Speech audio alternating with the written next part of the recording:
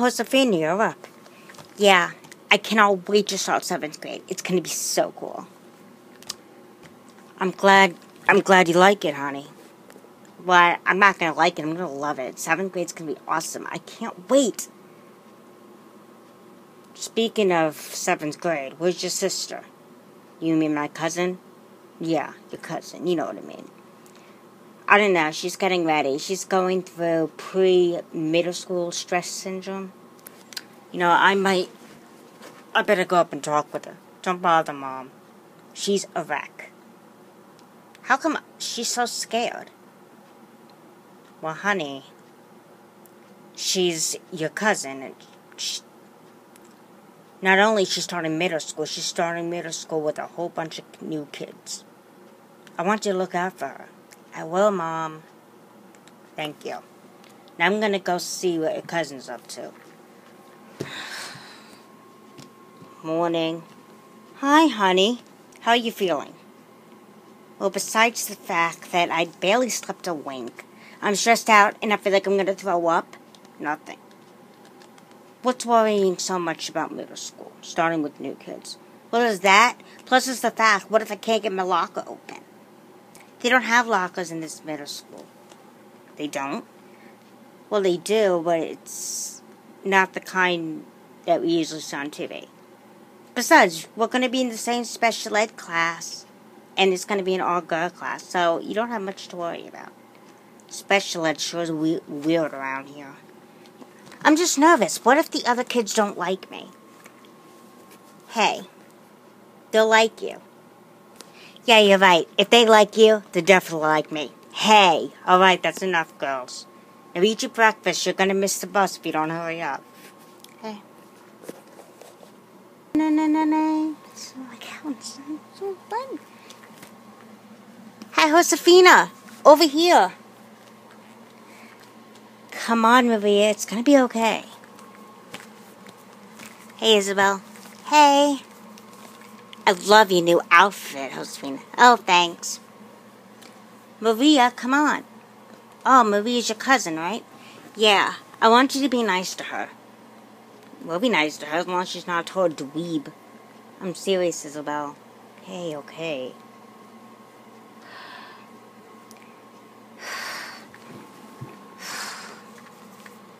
Are you okay? Oh, yeah, I'm feeling great. Just great. Is that your cousin? Yeah, this is Maria. Hey. Hey, Maria.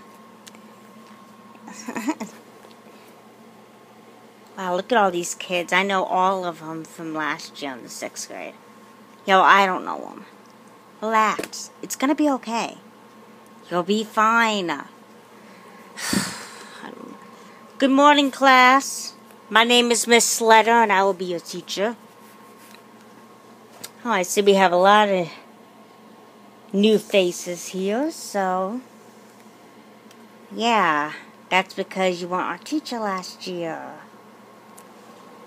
Anybody new in this district? Yes, why don't you stand up and introduce yourself? Um, my name's Maria Sanchez. I'm Josefina's cousin. And I moved here over the summer to live with Josefina because. What, are your parents in jail? No, they're not.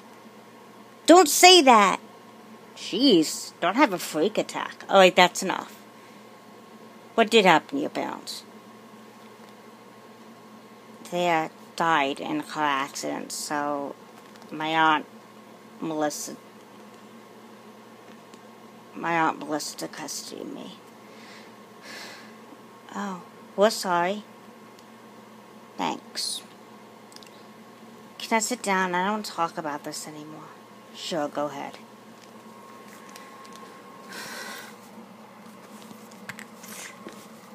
You guys better be nice to her. We will. I'd be devastated if, pa- if my parents died. Yeah. Okay.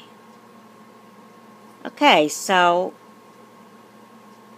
now that you guys all know each other, let me get to know you. I know you guys are a little nervous about starting middle school, but this will be just like elementary school, at least when you're in this class, it will be. Yay. I give homework every night except on Fridays. Fridays, you can enjoy the weekend. Alright, no weekend homework. Um, tonight, I know it's the first day of school, but tonight you're gonna have homework. But it's something very easy. You just have to write a paragraph that tells me a little bit about you. Just one paragraph. I think you guys can handle that. Yeah, sure. Okay. Let's go over. Let's go over the class rules. Lunch. So, what do you think of our class so far? I like it. Is your cousin gonna be sitting with us? Be nice, Isabel. I'm sorry, but your cousin's a dweeb. Don't say that. Just gotta get to know her. Yeah, but she didn't smile once. She's been through a lot. Give her a break.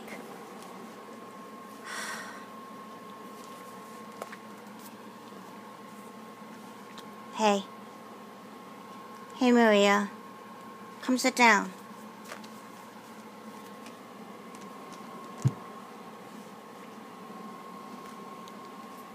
So, um. So your parents died over the summer, huh? Yeah, it's been really hard. Yeah, poor you. Well, I'm sorry, but didn't you say earlier that you kind of knew how I felt? Yeah, but all you're doing is doom and gloom. No, I'm not. I barely said anything. What about when you were introducing yourself? You're like, I don't want to talk about it. Isabel, stop it. No, she wants people to for her. That's not true, and you know it. Well, I don't know you. Exactly, you don't know me. Why would you think I want to be doom and gloom? Because you didn't smile once. Look, I'm just going through a lot. Oh, poor you. Josefina, aren't you going to say anything? Why don't you go and uh, go cry to the guidance counselor? What's wrong going to the guidance counselor? Nothing. Unless you're somebody who wants attention. What are you talking about? You didn't have to mention your parents dying. What, what was I supposed to say? Supposed to act happy. You just want attention. You want people to feel sorry for you. That's not true. It isn't. Josefina. Aren't you going to say anything? Well, you do seem kind of doom and gloom. Forget it. I'll go sit somewhere else. Why? You want another shoulder to cry on? Isabel, what are you doing? Why did you talk to her that way? Because she, she all she does is doom and gloom. All the time, and it's really annoying. Isabel, you shouldn't have said that. Hey, I guess the truth hurts. I thought we were friends. We are friends. If I wasn't your friend, you wouldn't be worth getting mad at. You gotta be nice to my cousin. Why should I? All she wants is attention. You better talk to her and tell her to stop doing doom and gloom. Fine, I will. Good.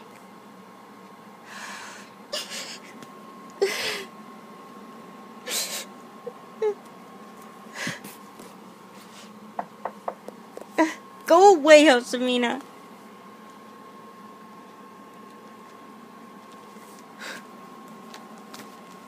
I said get out of here. No, I want to talk to you. I don't want to talk to you. You let your friend be mean to me. Look, I'm sorry I didn't defend you very well. But I did stick up for you when you left. Isabel's really not that bad. She just likes she judged people a lot. Yeah, I know. I've been through so much, and you know it. I know, but do you think you're the only person who's been through stuff? I miss your parents too. Yeah, but at least you have your own parents. I don't have them anymore. Well, I'm sorry, but, you know, I talked to Isabel and I stood up for you. It was nice of you to do it, but it doesn't make anything better. I just miss my parents so bad. I miss them too just because I have my own parents doesn't mean I don't miss your parents as much as you miss them. I've known them even even before you were born. We're only three months apart, exactly. Three months can make a big difference. I'm sorry, okay? I I know I messed up. I just hope you can find in your heart to forgive me. I don't know. But I appreciate it. Ring ring. I'll get it. No, I'll get it. It's my room. Ring ring. Hello? Isabel, why are you calling? Really? Okay. I guess I'll see you tomorrow then.